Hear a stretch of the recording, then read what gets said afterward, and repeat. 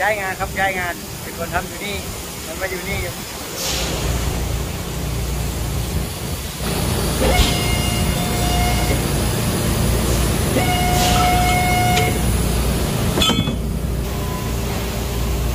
ย้ายงานครับย้ายงาน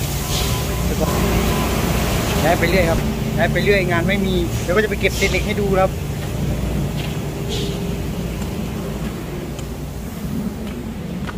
บ๊ายบาย